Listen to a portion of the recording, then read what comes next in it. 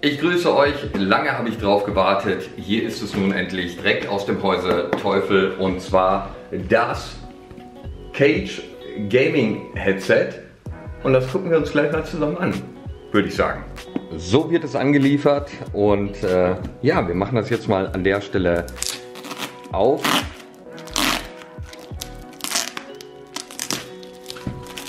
Und schauen mal, was hier herauskommt.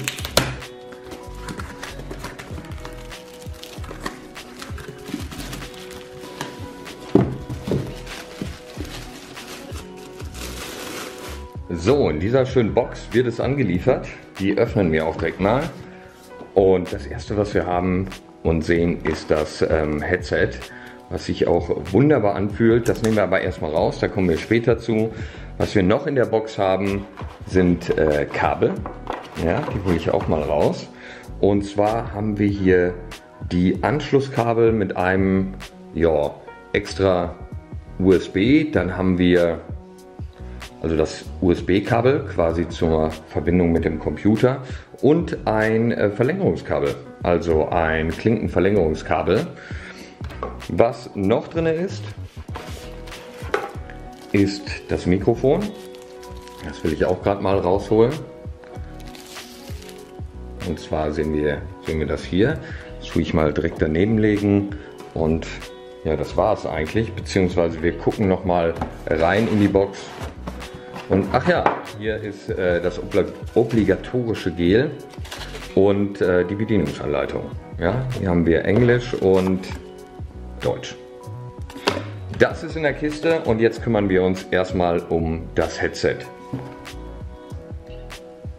So, das ist der Lieferumfang. Ich muss gestehen, ich habe mir das Headset gerade schon mal angeschaut und ein bisschen damit rumgespielt. Was mir aufgefallen ist, will ich euch jetzt zeigen. Erstmal fühlt, fühlt es sich unheimlich wertig an. Das liegt unter anderem auch an diesen Alu-Scharnieren hier oder ähm, ja, die Alu-Elemente will ich sie jetzt mal nennen. Das Headset kann man schön einklappen und es dann auch mitnehmen. Ansonsten, was mir noch direkt aufgefallen ist, ich habe es direkt auch mal auf den Kopf gesetzt, gesetzt, ist, wie hochwertig hier der Klickmechanismus ist für die Einstellung auf dem Kopf. Also wenn man das auf dem Kopf hat, das muss man wirklich hier einstellen. Das verrutscht auch nicht. Ich wollte es mir dann runterziehen, das klappt gar nicht äh, so gut. Das muss man wirklich hier machen mit ein bisschen Kraft, damit man seine beste Einstellung hat. Und dann hält das Ganze auch.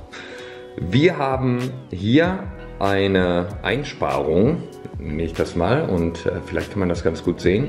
Und da drinnen kommt dann der USB-Stecker rein äh, für die Verbindung an den Computer mit dem Computer. Was wir hier haben, ist der Lautstärkeregler und der geht auch nur zu einer gewissen Position. Also kann man hier genau einstellen und nicht endlos drehen, sondern hier genau einstellen, wo die Lautstärke ist. Ferner haben wir hier einen Telefonknopf, den werde ich mal ausprobieren. Ich denke, das ist, dass man äh, sofort Skype-Anrufe oder ähnliche Sachen ähm, damit anwählen kann.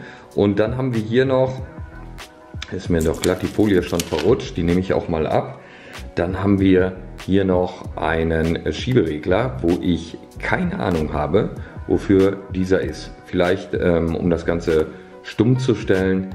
Ich probiere das später natürlich selbstverständlich nochmal aus. Auf der anderen Seite haben wir gar keine Anschlüsse und gar nichts. Was wir aber noch haben natürlich, und das war auch interessant, weil ich habe erstmal geguckt, wo, wo kann ich das Mikrofon denn hier überhaupt reinstecken. Und zwar kann man es auf der Seite reinstecken und dann fixieren.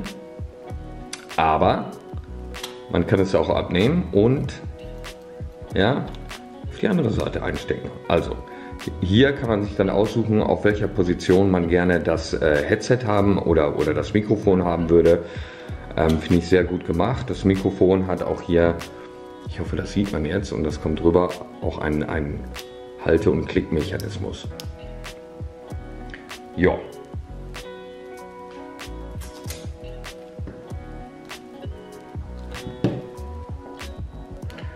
So wunderschön leuchtet das Headset wenn es angeschlossen ist, an den USB-Port, was ich gerade gemacht habe.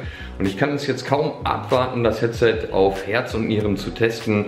Die nächsten 20, 30 Stunden. Dazu werde ich dann natürlich auch noch ein Video machen, ähm, wo ich dann sage, Mensch, wie ist der Komfort, wie fühlt es sich an, wie ist die Soundqualität beim Spielen, aber auch beim Musik hören. Und das werde ich machen. Da kommt noch ein Folgevideo. Wenn ihr so lange warten wollt, schaut euch doch meine Let's Plays an. Also, bis dahin.